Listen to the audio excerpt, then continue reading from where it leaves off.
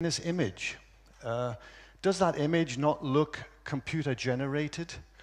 I think you'd all agree that it looks like it was created in some Photoshop platform or something like that, some kind of graphics um, uh, platform. But in fact, that is sound made visible uh, using the CymaScope instrument, which I'm going to introduce you to in a moment. And, uh, but before we get there, just to say, I think you can see in that image that there is three-dimensionality. It's not, a, it's not a flat 2D image. If you look closely on the screen here, it is very, very 3D.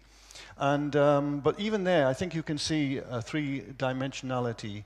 And this is because when water is, is, uh, is impressed, when you imprint sound onto water, you're not only structuring the surface of the water, but also significantly into the depth of the water. You're organizing all of the molecules uh, with the sound. And that is why when the camera picks up that image, it's actually seeing some layers that are in clear focus and other layers that are further away and slightly out of focus. And that's the reason that you're seeing that effect. Also, just to mention that this is the image of a male voice made visible and you'll notice that it has seven-fold structure.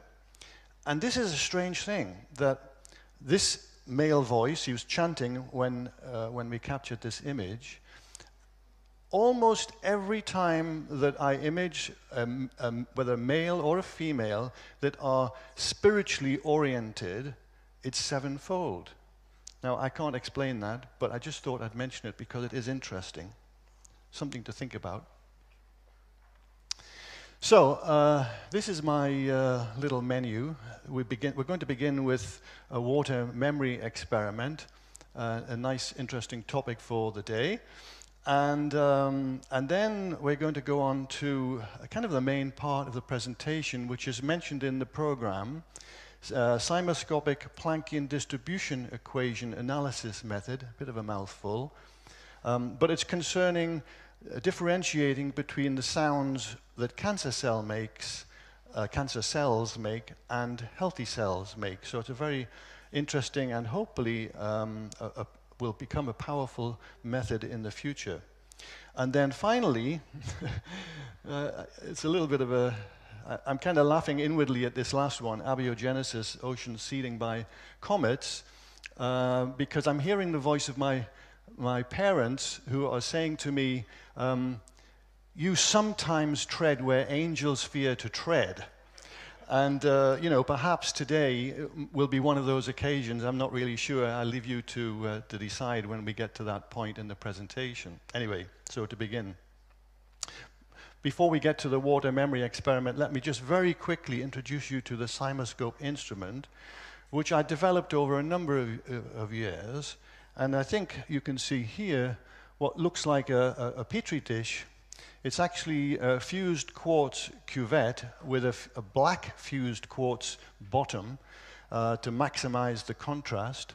Into that little, uh, we, we call it a visualizing cuvette, uh, we put a small volume of water, that particular uh, size of cuvette, we put 6.8 milliliters.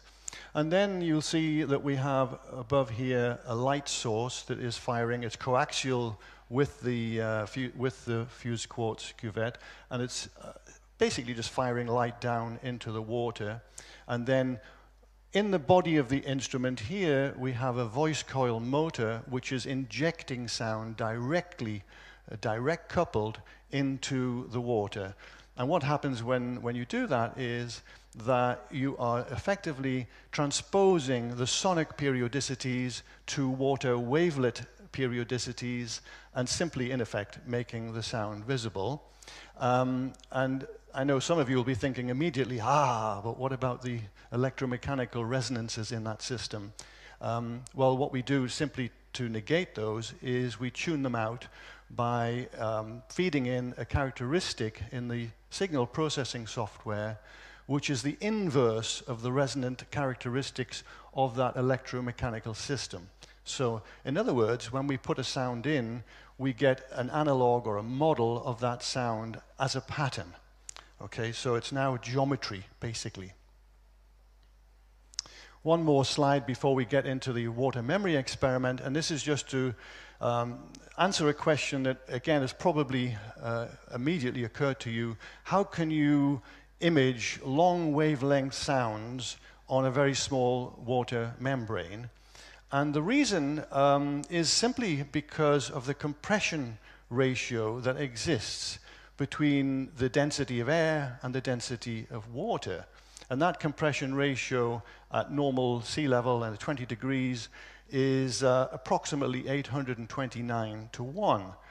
And it's actually the reason why I think our cochleas are able to also sense very long wavelengths. I give an example there of um, uh, uh the lowest note on a piano, 27.5 hertz, has a wavelength of uh, 12.37 meters, and uh, which you can, I mean, visualizing that, that's a long way.